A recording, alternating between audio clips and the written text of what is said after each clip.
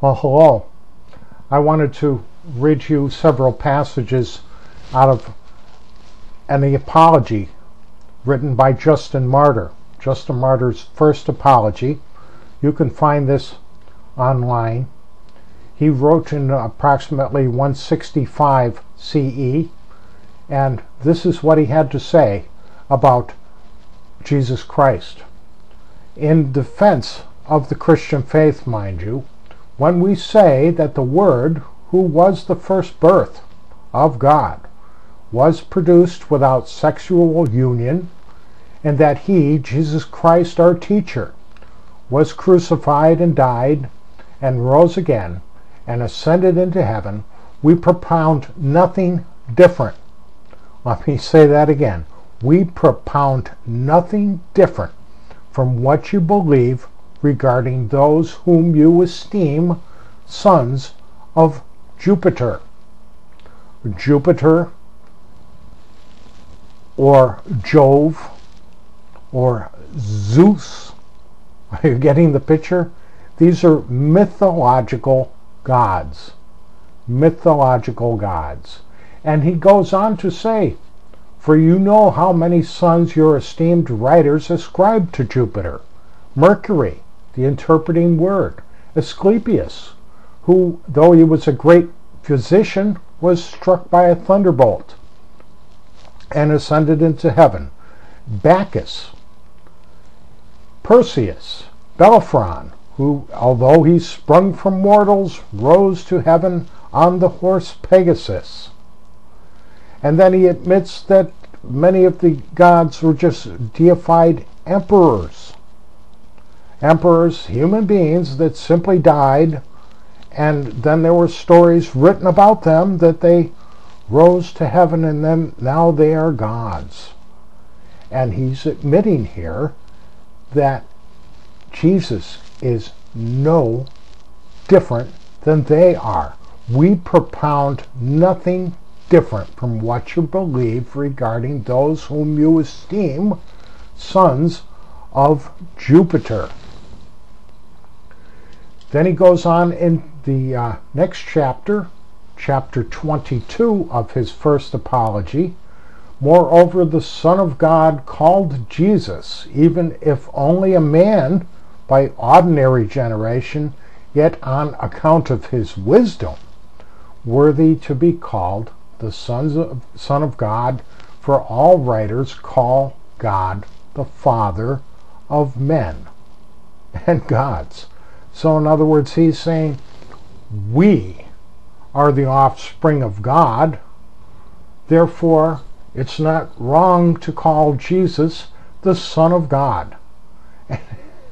And if you reason with this, he's simply telling you that Jesus is no different than you or I. No different than you or I. And then he goes on and talks about how Christ was born of the Holy Spirit, whereas many of these other mythological figures were born in the story of Zeus coming down and actually having sex with a female. See, all they've done is taken the story and cleaned it up. Now the Holy Spirit came upon Mary rather than Zeus coming upon Mary. You see, that's all he's saying. And yet, having this to read, and the church has kept this for nearly 2,000 years now, so that we have a record of what these early Christians believed, and yet they still insist that Jesus really was a flesh and blood creature. Well, no, he wasn't. Justin Martyr, who was a Christian and a Christian apologist, writing in defense of the faith, says that what we're talking about is nothing different from what you already believe concerning other mythological gods that existed at the time. And everyone knew that these were just stories written for our edification, for our youth to learn from.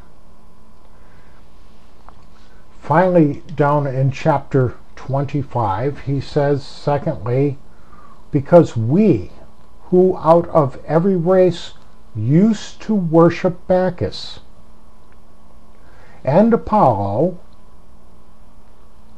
and Persephone and Venus, you see, and then he just simply goes on to say that all these stories were written by demons.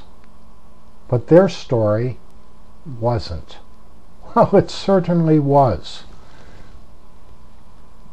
If you believe that all these other stories were written by demons and we are propounding nothing different about Jesus Christ, then demons wrote the story of Jesus too. There's no getting around it. At any rate, this is what he says too. This only be said that these stories were written for the advantage and the encouragement of youthful scholars. That was the intent of all the myths to teach us spiritual, eternal truths and all they've done is taken the same stories and put a new name on the figure. There's an interesting book that you can find, and you don't have to run out and buy this. This is a old text, and it is available right online, I believe, with uh, the Gutenberg Project and other such things that uh, you can download this the text of this book and read it for, for free online. But the world's 16 saviors by Kersey Graves. There are some errors in here, and one big complaint about the book is that you can't go back and look at a bibliography in the back of the book and find out where Kersey Graves got his information from. So if someone else, others' work that he was copying had a slight error in it on one point that uh, that may have made it into the book here. So it is not totally perfect, but no writing is perfect. But I one thing I can tell you is this book has less errors in it than the Bible does. And you will be able to see the similarities between all these other solar deities and Jesus Christ. They all carry the same message. They a lot of these earlier the divine sun gods said and did the same things. And that's one thing that I've found studying the New Testament over the years is that there is not one thing, not one thing that is original to the New Testament. They claim that God came down and inhabited a, a man, flesh and blood, and he had nothing new to say. He had absolutely nothing new to tell people that that all these ancient uh, mythical gods had not already said. It it it it's hard to believe that this information is out there and yet so many people are fooled into believing that Jesus was, in fact, a real flesh and blood character. But you can read right in Justin Martyr, you have apologists defending the faith, and he tells you that this is Simply not true.